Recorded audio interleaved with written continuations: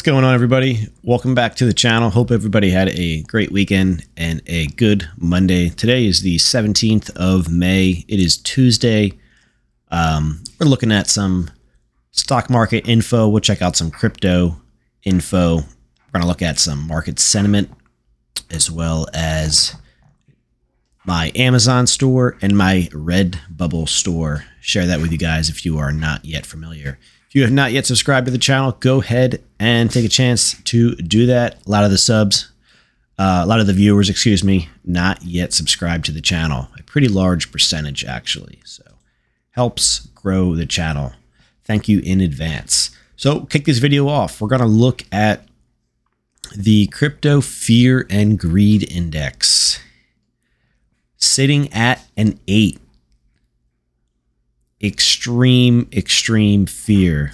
This actually might be the lowest fear levels we have seen for this index. So let's see. We are sitting at an 8 as of today. Obviously, this will probably change this evening. Let's go to the map. let's go to 1 year. So it looks like we are at the lowest fear levels in 1 year think over here was looks like a 10. Let's go to max. Looks like back in 2019 we were lower. I don't think we'll be able to get a reading down here with the way this chart works. We are at very, very low levels. It says an 11, but I don't think that's that's obviously not accurate. So Extreme fear can be a sign that investors are too worried. That could be a buying opportunity. Very important words right there. Buying opportunity. You will not see this sit in this fear levels for very long. Usually bottoms happen quickly and tops happen over time. Typically bottoms are more of a V bottom and tops usually take a little bit of time to top out. So keep that in the back of your mind if you are thinking about getting into some long positions in the crypto markets, this indicator is telling you now is your time. Not financial advice, of course. So let's check out these a similar uh, market sentiment indicator, but using the stock market. So this is the CNN Fear and Greed Index. We are sitting in extreme fear. They actually changed the way this graph looks here. Um, if that's what you want to call it, this data tool. Um, sitting in extreme fear, also similar. You can see one week ago we were sitting at a 10, a little bit lower. I recall seeing this down in the eights. I think that's the lowest. I've seen this indicator go maybe a six. Um, there should be some historical data as well. Um, let's see here. Maybe not. But same concept. When you are pinned on the extreme fear side of this chart, it is a good time to buy, and then vice versa. When you're sitting on the right hand side of the chart, perhaps time to take a little profits off the table, although tops are a little bit harder to spot than bottoms. So it's a contrarian indicator. So if you are willing to step up to the plate when others are perhaps fearful. And then both in the stock market and the crypto market is now is your time to shine there. So that is that CNN Fear and Greed Index, and then the Crypto Fear and Greed Index. It, it tells you um, why measure fear and greed, tells you all the data sources, how they gather this info. Just remember, looking where we're at right now. So let's jump over to the E-mini S&P futures. So I had mentioned down in here a couple days back last week. This looked like the bottom. Judging by one, market sentiment, and two, um, the candle body. So far, that bottom is holding. Will it hold? That is the big question. I had mentioned that we are very close to a market bottom of some sort with the way and the condition that market sentiment is in. Um, luckily, we were able to accumulate stocks down in this area on the day of the lows, and we continue to hold those. Um, that position that is is posted on our Patreon, um, where we entered, and then how we um, continue to hold moving forward. So if that's something you are interested in, that is posted on the Patreon group only. So the E-mini S&Ps had a little bit of a mixed Monday, couldn't quite get out of their way after the weekend. Basically closed, uh, looks like we closed down 15. We were up, we were down, we were flat, and then basically closed down 15. Today, we continue to move higher as we should for now, up 50, 53 and a half handles on the S&Ps. Um, looks like we could find a little bit of resistance up here at the, what is this low here? So this low is 4094. So potential resistance up there at the 4094 level. Um, time will tell. But like I said, when market sentiment is in such a good position that we haven't seen in years, you can expect a big, big rally or some sort of bottom to come in place. And that is the times we are in right now. And that is how it looked over here on the 12th of May. So I just wanted to share that, that the S&P futures right now up 53, um, continue to rise as they should, as we thought they would over the coming days and weeks as we think a bottom is um, in, if not taking place right now. Let's check out um, let's check out the SPY, which goes along with the S&P futures. So similar chart as you can tell. Um, the bottom candle looks a little bit different on the 12th of May, but we do continue to rise. Like I said, yesterday was a little bit of a mixed bag of tricks here, up, down basically closed flat yesterday. Um, looks like they closed down a dollar sixty-three. But if you are long from down in here, from these levels, um, then you should not be too worried where we are sitting at right now, especially if you're keeping an eye on the market sentiment. Of course, the bottom could still be taking place here. We could get a sharp pullback we could come back and test the lows. But like I said, when market sentiment is in such a good place, we are very close to a market bottom of some sort. So we do expect much, much, much higher prices here for the SPY and the stock market. Will it be a straight line up? Probably not. It could be very strong, of course, but probably get up to something like that, and then you'll get a higher low, and then perhaps another higher high. We will see how we chop uh, chop out of here or head up straight like a rocket. But we do expect and do think a market bottom is taking place right in front of us. Great opportunity right now, we think, to be long the market indices and stocks. So let's jump over to some cryptocurrency. That's my thoughts on the stock market. I am bullish. Let's go to um, check out some Casper, see what's going on here. Casper looks like we're up 3.7% today, early this morning here, uh, quarter to five in the morning on the East Coast, 4:45 a.m. So Casper moving up a little bit off the bottoms. Looks like a lot of the different assets found some sorts of bottom on the similar time frame, and that was the 12th of May. A lot of cryptos, a lot of stocks found their bottom for now on that date, and we do continue to move higher here. Casper definitely not moving up as fast as um, other projects, but long term, very, very bullish on this project. Taking a zoom out, putting it on the log scale, uh, I believe the low actually was exactly three cents, if I'm correct. So the exact low on Casper was three cents, which also correlates with a little over a year ago now on the 11th of May in 21. That was also 3 cents. So far, we have double bottomed. We will see if that gets tested once again or if this thing starts to gain some steam and head higher. Like I said, long term, we are very bullish on Casper and the Casper project, but not too too much to talk about here on the chart as this thing kind of figures out what it's ready to do next. Little bit of resistance coming into play up here. So that low um, was 509. So we can expect the price to find a little bit of resistance up there at the 509 level. And then up once again up in here. This is the a little bit higher, the five and a half cent range. Um, just something to keep your eye on moving forward here.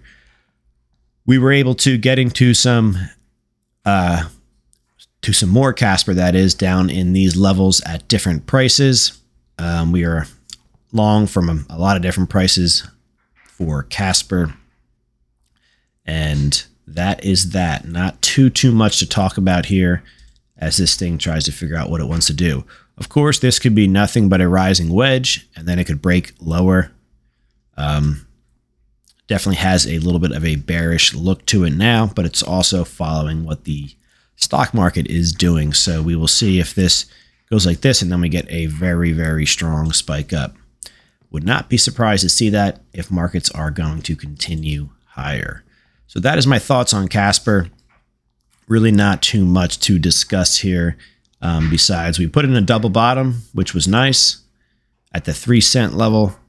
And then we do have some something to look forward to here, which is some resistance up there at the 509, perhaps up here at the five and a cent, five and a half cent range. And then we obviously have a lot of price noise up in here.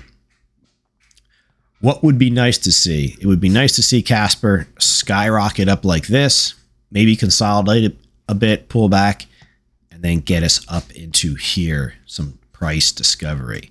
Will that happen? You let me know down in the video comments. Either way, very bullish on this project long term, and we continue to hold on the long side. We have a lot of Casper, at least for, at least in our standards, um, not financial advice. Um, feel free to let me know how much Casper you hold. Um, I find it very interesting that people hold quite a bit of this stuff. Um, feel free if you want to share. If not, of course, I understand. Let's check out some XRP. Actually, if you don't want to let me know how many shares you have, let me know the prices you are long from. Like I said, we were able to get some down in here at the, so far anyways, all-time lows. Let's check out some XRP. So XRP, like the rest of the markets, is going to look similar because it is following basically Bitcoin and basically um, what the stock market is doing. So far, um, finding some support from over in this area. A lot of trading, um, price action in and around this basically 30 to, could call it up into here, 60 cent range. Let's see here. So had that waterfall move and like Casper and the S&Ps, um, the 12th of May was the bottom for now. Do we see something like this take place? A very strong candle to the upside. That's the question. If the stock market's going to continue higher, we do expect XRP as well as Casper to move to the upside. A little bit of resistance up in here for the price. Basically up in this 60 cent range. Um, that is quite a bit higher than we are now, but hey, it can happen pretty, pretty, pretty quick. Also right here, uh, this 52 cent range will be a potential another area of price resistance. So mid 50s, 60s, a potential overhead resistance level for Casper or for XRP, excuse me. So let's see, we were able to get into a little bit more, um, basically top off our XRP holdings on this move down. dollar cost averaging into this project. Held this for a couple years now. Not financial advice. Do expect much higher prices here for XRP as well. Was nice to see this thing basically find some support from back over in here. Just waiting for that next leg up to continue this bull run here. Got to have patience, it seems like here. All right, let's jump into some Bitcoin. What's going on here? Bitcoin, like the rest of the markets, looks very similar. Definitely like the way this candle looks here on the 12th of May. Nice, nice, unchanged bottom looking candle. Just waiting for that next leg to the upside here. Take us to some um, more recent higher highs, basically above that 30, let's see what we got here, 32, 500 level or so up into here. That'll definitely pull some weight for the other cryptos. That'll definitely help help Casper and help Bitcoin and uh, not help Bitcoin, help XRP out, getting them back up in higher prices. So that is my thoughts on Bitcoin. Nothing too crazy. Don't really follow Bitcoin that much. Looks like we're trying to find some support back in here, which looks like a pretty important area. We traded below it, had a big candle wick below it, and now we're trying to get back above it. Support and resistance. So that is pretty much going to wrap it up for this video. Stock market looks to be in good shape. Let's check out the S&P futures once again. We're up 62 now. Things look pretty good right there. You can see we're getting that next move higher on the S&Ps. So we expect a similar thing to uh, make its way over into Bitcoin. So we would expect Bitcoin to be up in here very, very soon. SPY should have another nice day, seeing its price up quite a bit, uh, definitely a couple dollars. Um, and like I said, that should carry over into project like like Casper and XRP. XRP. So we will see. Like I said, go back and watch um, why I think the market has bottomed. Video posted a couple days back. I will show you some of the different market sentiment stuff. Uh, looking back um, quite a bit, a couple years ago, and then even further. And we will see what happens here. Sell in May and go away is the old saying. Um, I haven't really seen that take place for for a while now. Although if you sold before May this year, it would have worked out. But it looks like we're actually getting back into the markets here for the summer months. Pretty, pretty interesting. Definitely a good reason to keep an eye on market sentiment. Go back, go ahead and check out that video. So over here to the Amazon store I hadn't mentioned. So I have a Merch by Amazon store, bunchy, uh, bunch of investing related t-shirts. Futures trader, buy the dip, micro futures trade stocks, um, bunch of cool shirts on here. Go ahead and check that out if that's something you are interested in. Link in the video description. Have some Ripple shirts down here. Wall Street, follow the trend. Pretty cool Wall Street shirt. XRP shirt. Um, futures, investors, check them out. Does help support the channel. Greatly appreciate anybody um, who is willing to go ahead and check that out. Also have some other merch over here on Redbubble, some stickers, some drink coasters, t shirts, notebooks, and stuff like that. So, thank you in advance for anybody who will go ahead and check that out. Casper up 4.5% today. Let's get this thing up into the double digit percents. What do you say? Sounds good to me. So, all right, guys. Thanks once again for watching this video. Let me know, as always, your thoughts down in the video description, whether you agree with me or whether you don't. Everybody has room in the comments to share their opinion. Go ahead, subscribe to the channel, hit the like button. Definitely helps a lot of the viewers, like I said, not yet subscribed. And I will catch you guys in the next video. Looks like it's going to be a pretty good Tuesday for the market in the green. Um, got many hours to go. Let's see what happens. All right, guys, take care.